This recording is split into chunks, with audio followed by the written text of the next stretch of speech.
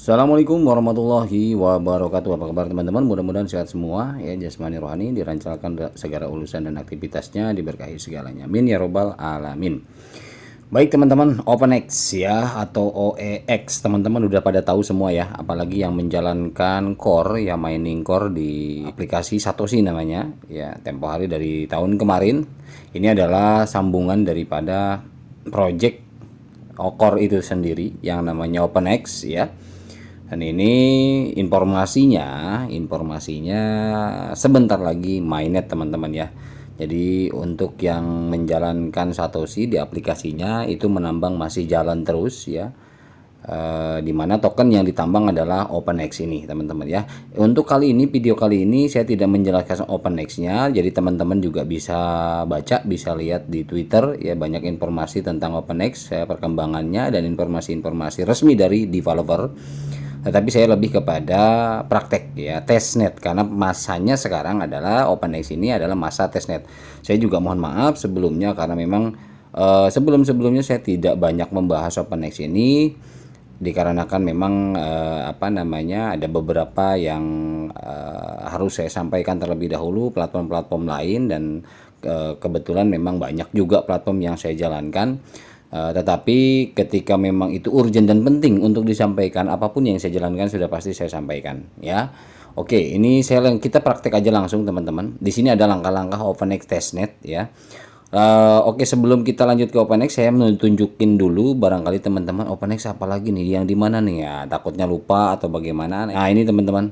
Ini OpenX ya. Di sini ada eh, teman-teman uh, dulu yang menjalankan core tetap sama cara kerjanya klaim ya. Dulu di sini banyak malah yang token-token tes ya. Tes A tes B tes C ya TBC TBC datu uh, yang real uh, nyambung ke jadi penambang di platform uh, Satoshi ini ya ini OpenX gitu ya teman-teman ya. Oke kita lanjut prakteknya saja Oke, nah ini teman-teman ada HTTPS scan long OpenX network. Ini adalah untuk membuat jaringannya ya buka tautan di atas melalui browser Misi atau Kiwi yang memang menggunakan wallet Mises atau Kiwi. Anda untuk menggunakan seluler gulir ke bagian bawah halaman dan ini ini ini ya eh, apa namanya petunjuk yang menggunakan browser. Tetapi karena memang saya menggunakan MetaMask ya aplikasi Android daripada walletnya MetaMask jadi ini langsung uh, copy aja di copy saja teman-teman.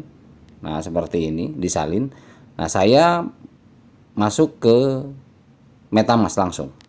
Oke saya langsung uh, ke metamask saja teman-teman. Nah ini yang pertama yang harus kita perhatikan adalah jaringan OpenX sudah dibuat apa belum? Ya OpenX uh, untuk testnetnya. Nah seperti biasa teman-teman kalau metamask ini di jaringan ya ini ada add network ditambah saja Kemudian ada custom network di sini. Nah, ini diisi. Uh, RPC network name dan lain sebagainya. Nah, contohnya seperti ini. Kita coba cek yang OpenX ini setting setting network untuk OpenX testnetnya. Nah, teman-teman boleh di screenshot ini video atau di apa namanya? dicatat silahkan ini namanya OpenX long testnet ya atau mungkin OpenX saja atau testnet OX boleh bebas kalau nama nggak ngaruh ya. Yang penting RPC URL nya di sini.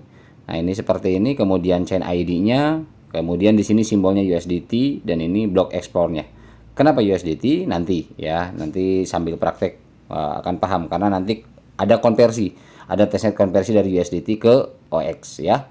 Oke, ini untuk networknya ketika memang teman-teman ini sudah dibuat, nah oke dibuat berarti di sini sudah ada OpenX Long Testnet karena sudah dibuat ya. Nah, di sini berarti kita aktifkan OpenX Long Testnetnya. Setelah itu akunnya, kalau memang punya lebih dari satu akun ya silahkan. Berarti tinggal dipilih aja akun berapa di sini. Uh, contoh akun 1, 2, 3 dan sebagainya silahkan saja. Nah, ini saya pakai akun satu ya.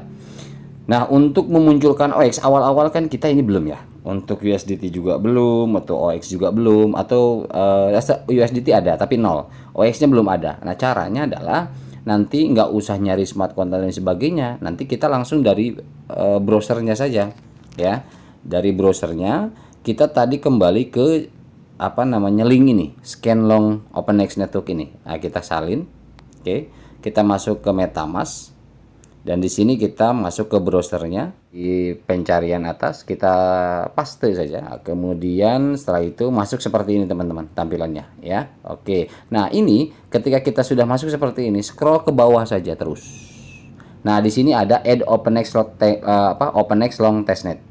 Ini diklik aja teman-teman. Diklik. Nah kalau saya kan udah ya successful edit karena sudah ada. Kalau teman-teman tinggal klik aja langsung konfirmasi nanti ada ada tampilan konfirmasi dikonfirmasi aja. Nanti akan ada di sini otomatis OX-nya jadi nggak perlu nyari-nyari smart contract karena memang kita dari webnya langsung. Sudah. Gitu ya. Nah ketika memang USDT sudah oke okay, OX sudah ada nah baru setelah itu kita coba ini untuk apa namanya untuk membuat daripada eh, coba kita lihat. Untuk membuat daripada jaringan ya jaringan dan token. Oke, sekarang setelah itu siap, kita coba klaim. Ya, di sini. Nah, ini yang ketiga, ini di copy saja. Makanya teman-teman nanti di screenshot aja silakan. Kita masuk di sini di atasnya, kita seperti biasa paste enter. Nah, ini akan seperti ini. Nah, kita akan menghubungkan ya, menghubungkan ini dia larinya akan ke core dulu Nah, coba kita kembali. Nah, ini kan jaringan nanti dia akan otomatis ke sini dulu. Mana core? Core, core, core, core, core. Nah, ini ya. Oke, ini ya core ya. Nah, tapi kita nggak usah ganti dulu karena dia akan otomatis dari nanti ganti. Nah, kita dari sini aja dan pastikan di core ini ya sorry kita balik lagi. Nah, di core ini mana core? Core, core, core, core. Nah, ini kita buka dulu deh biar lebih jelas.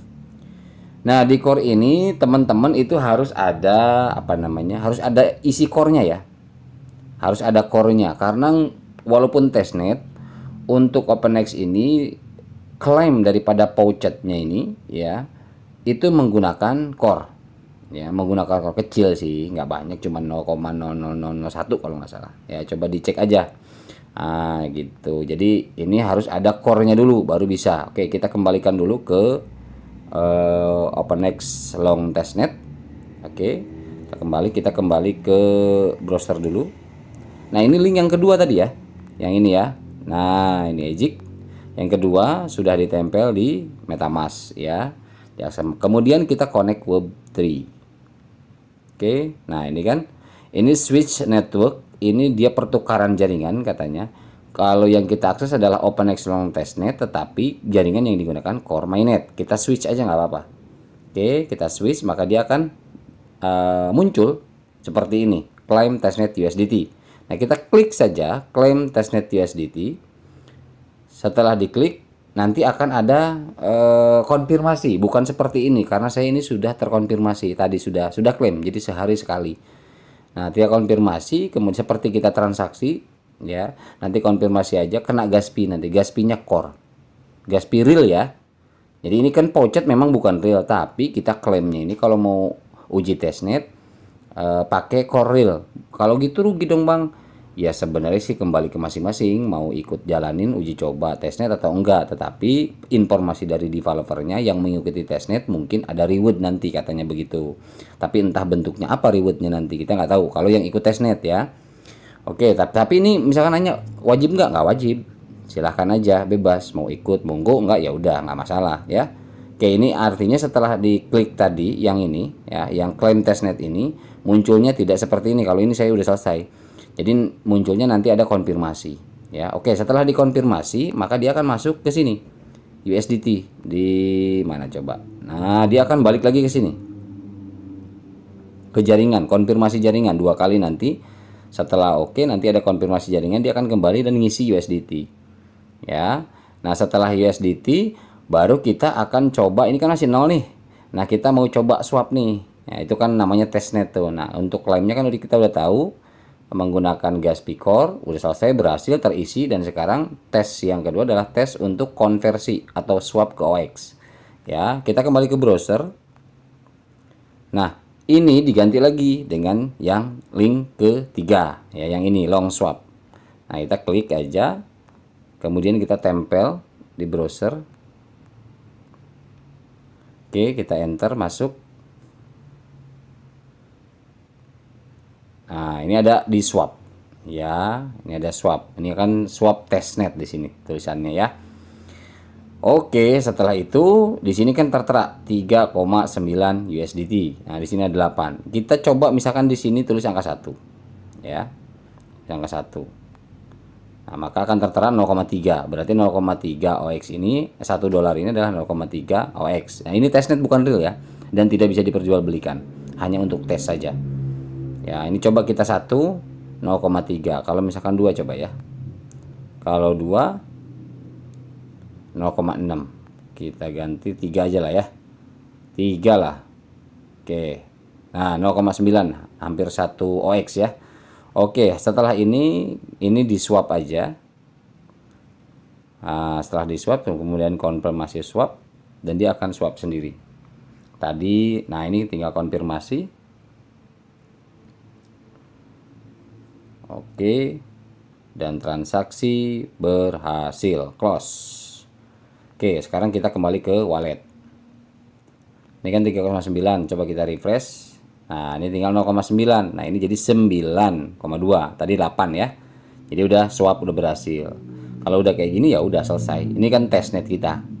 Nah, nanti yang realnya pun tidak jauh beda. Itu gunanya testnet itu mengenalkan ya tes transaksi ya seperti ini gitu teman-teman. Nah, ini adalah link-link untuk testnetnya. Nanti juga ketika realnya ada link-link yang memang untuk realnya jadi nanti yang realnya nanti diinfomin lagi.